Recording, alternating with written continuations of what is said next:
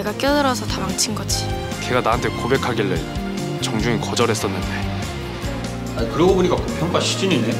나보다 예진이를 더 걱정해야 할 거야. 1년 미만이라도 그만둬야 할 수도 있어.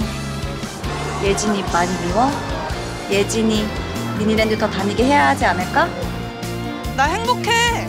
엄마 인생만 아니라 내 인생도 소중하냐고!